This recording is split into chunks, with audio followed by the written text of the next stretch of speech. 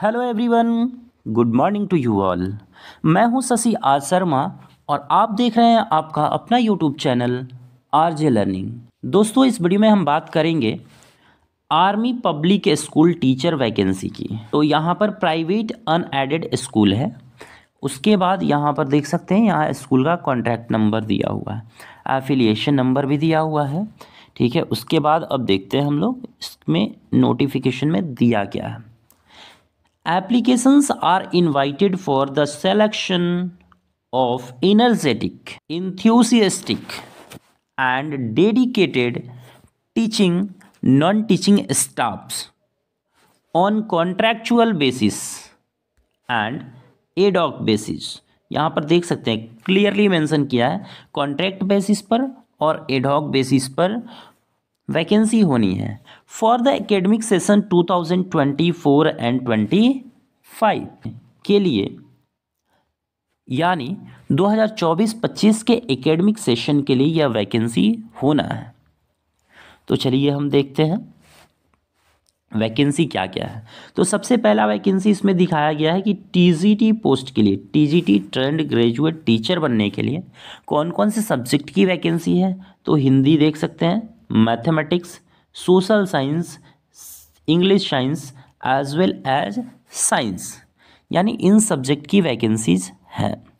अब आप देखेंगे तो इसके लिए क्वालिफिकेशन क्या है? एसेंशियल क्वालिफिकेशन जो है ग्रेजुएशन होना मस्ट है।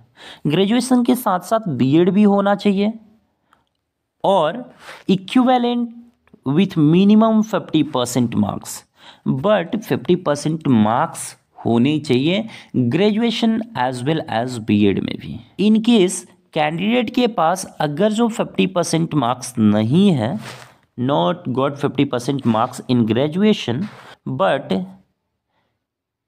has obtained fifty percent marks और more marks in post graduation अगर जो वह पोस्ट ग्रेजुएशन में फिफ्टी परसेंट या फिफ्टी परसेंट से अधिक मार्क्स लाया है तो भी वह क्या है जी? In subject the candidate shall be valid वह कैंडिडेट क्या है? वैलिड है, वह कैंडिडेट फॉर्म फिल कर सकता है। उसके बाद क्या है? C TET and T E T qualified होना चाहिए। विथ सिक्सटी परसेंट मार्क्स ये अब आपको ध्यान देने की ज़रूरत है। यानी सी टेट और स्टेट आपके पास सी टेट या कोई भी टेट आपके पास है तो उसमें सिक्सटी परसेंट मार्क्स होने अनिवार्य है। और should have pass online screening exam conducted by A W E S army welfare education society के थ्रू अगर जो आपने टेट को पास किया है, इसका स्कोर कार्ड आपके पास है और फिफ्टी परसेंट मार्क्स है तो भी आप एलिजिबल है। राइट नेक्स्ट वैकेंसी देखेंगे आप पीआरटी का है। ठीक है तो पीआरटी में क्या है जी?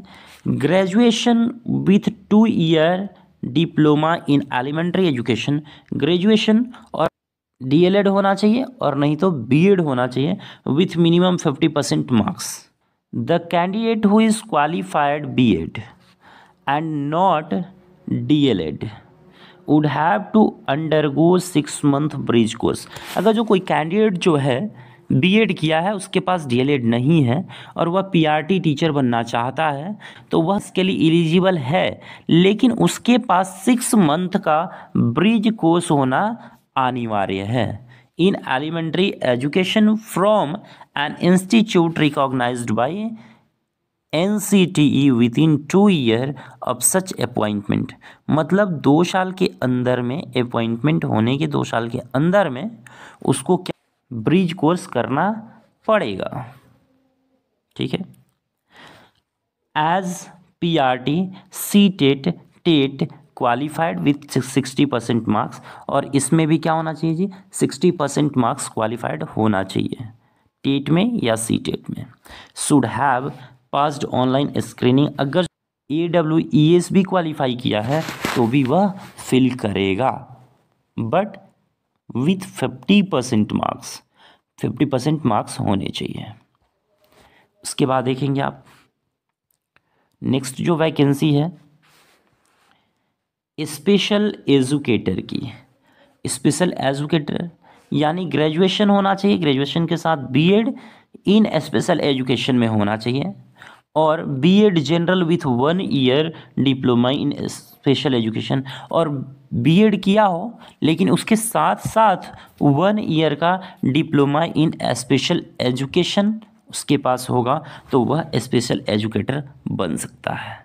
ठीक है? आर्ट एंड क्राफ्ट का जो टीचर बनेगा diploma in art and craft art and craft में डिप्लोमा होना चाहिए। Should have minimum three years experience as art and craft teacher और कम से कम उसके पास तीन साल का आर्ट एंड क्राफ्ट टीचर का एक्सपीरियंस होना मस्ट है।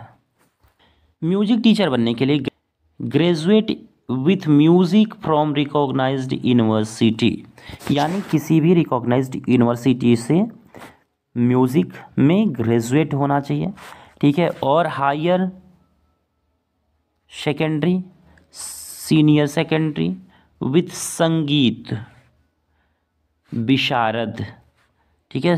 हायर सेकेंडरी या सीनियर सेकेंडरी में क्या होना चाहिए? संगीत विशारद होना चाहिए। संगीत में प्रभाकर होगा तो भी चलेगा। ठीक है? संगीत रत्ना होगा तो भी चलेगा। संगीत भास्कर होगा तो भी चलेगा।